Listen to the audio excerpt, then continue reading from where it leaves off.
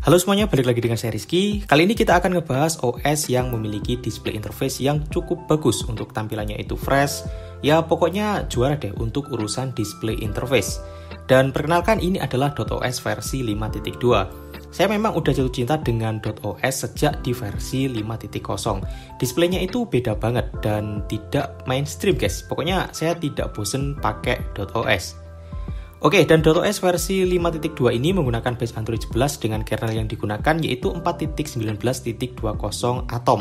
Oh ya, buat kalian yang suka dengan konten-konten seputar teknologi dan gadget, jangan ragu-ragu langsung aja klik tombol subscribe di channel ini. Dan juga nyalakan lonceng notifikasinya agar tidak ketinggalan apabila channel ini upload video-video baru. Oke, OS ini menggunakan base Android 11, namun untuk fitur dan displaynya itu sangat mirip banget dengan stock ROM Android 12. Mulai dari status barnya guys, OS ini juga memiliki fitur auto color. Jadi warna status bar, quick setting, dan juga volume bar itu akan mengikuti warna wallpaper yang sedang kita pakai. Ini salah satu fitur yang saya sukai guys. Kemudian pada menu kustomisasi wallpaper, di sini terdapat fitur yang menurut saya cukup keren, yaitu adanya schedule wallpaper kita bisa mengatur dan wallpapernya nanti akan berganti secara otomatis di sini. Dan juga di menu wallpaper di sini tersedia banyak banget wallpaper yang diberikan. Oke, kita masuk di menu setting guys dan customisasi. Di sini juga terdapat menu customisasi yang lengkap banget. Oke, yang pertama yaitu adanya sistem color. Kita bisa memilih dari wallpaper colors atau sistem colors yang di sini kita bisa menentukan sendiri. Kita bisa pilih warna apa yang kita sukai. Kalau saya sih lebih suka yang wallpaper colors guys. Di bagian bawah di sini kita dapat mengatur-ngatur mulai dari jam, kemudian launcher grid, kemudian ada font, icon, icon pack, kemudian ada setting card, ada disable notification juga. Pokoknya di sini cukup banyak deh untuk settingannya. OS ini juga memiliki game dashboard guys. Di sini kita bisa mengatur ya. Di sini ada in-game control, ada screenshot, kemudian screen record dan juga not disturb. Di option di sini untuk ring in-game mode-nya kita bisa memilih off, vibrate, kemudian jangan ganggu dan silent. Untuk gaming mode indication-nya kita bisa memilih ya guys, off, notification, toast, atau bot. Ini membantu sih kalau kita suka main game. Pokoknya untuk urusan fitur di sini cukup lengkap banget untuk .os-nya. Bahkan ini lebih keren sih dibanding dengan stock ROM Android 12. Oh ya, satu hal lagi yang saya suka dari OS ini guys, yaitu OS ini memakan cukup irit penyimpanan, yaitu cuma 8,8 GB untuk penyimpanan sistemnya irit banget. Lanjut kita bahas di sektor performanya. Saya sudah beberapa hari pakai OS ini sebagai daily driver. Untuk pemakaian sosmed sih lancar-lancar aja, untuk multitasking juga masih oke. Okay.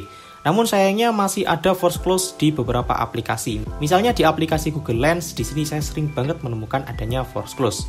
Dan beberapa aplikasi itu berjalan nge-lag di OS ini guys. Untuk hasil tes performanya, pertama di sini saya tes dengan menggunakan Geekbench 5 dan OS ini dapat skor 263 untuk single core dan 1030 untuk multicore-nya. Kemudian kita tes dengan menggunakan GPU benchmark dan OS ini dapat skor 410.400. Ini skor yang standar sih, nggak bagus-bagus amat. Kemudian kita tes dengan menggunakan CPU throttling dan berikut hasil performanya. Untuk grafiknya di sini pertama dia cukup tinggi, namun di beberapa menit berikutnya untuk performanya itu turun.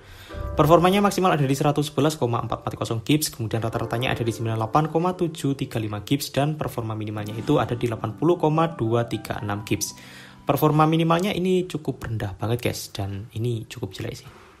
Kita tes untuk bermain game pertama untuk Asphalt 9 di sini dia masih mampu berjalan, cuman ada beberapa momen itu saya masih menemukan adanya nge-lag. Oh ya, untuk grafiknya di sini saya dapat di settingan paling rendah guys.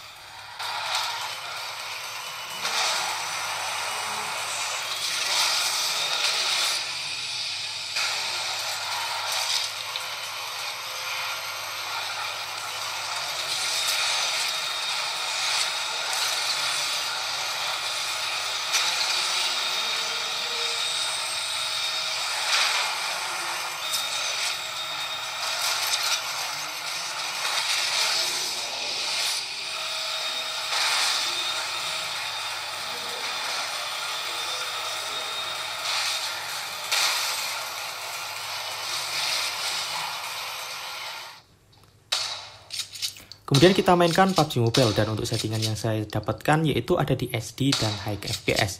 Atau kita juga bisa main di smooth high FPS juga. Selama bermain game ini sih juga masih lancar-lancar aja. Cuman saya ngerasain kurang smooth aja untuk bermain game PUBG Mobile. Terutama saat kita bertemu dengan lawan atau bertemu dengan sesama pemain ya.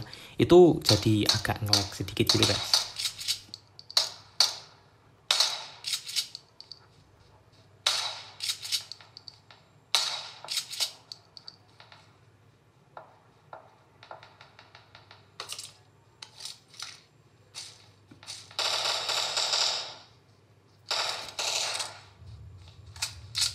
Oh ya, dan satu hal lagi keluhan saya di OS ini, yaitu ada di suara speaker yang dihasilkan.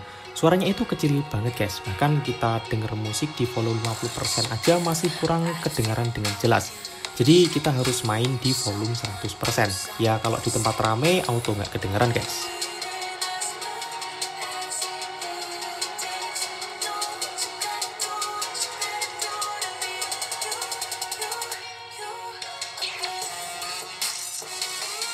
Oke, untuk kesimpulan, OS ini bagus banget untuk urusan display interface dan kustomisasi.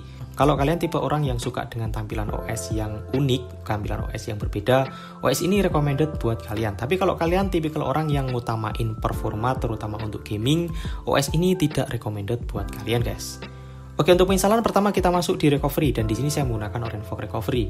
Kemudian kita pilih wipe dan kita pilih Dalvik Jets data system dan juga vendor. Kemudian kita swap untuk proses web datanya. Setelah proses web data selesai, di sini kita masuk di file dan kita pilih file OS kita guys. Kemudian kita swipe untuk proses penginstalannya.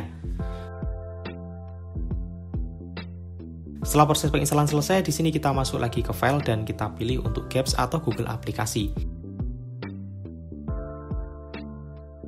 Setelah itu kita swipe untuk proses penginstalan Google Aplikasinya.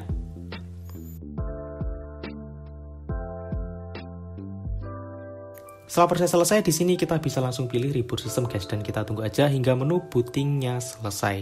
Oke itu untuk review .os versi 5.2. Kalau kalian suka dengan video ini, jangan lupa untuk tinggalin like, komen, dan juga subscribe. Dan sampai jumpa di video selanjutnya.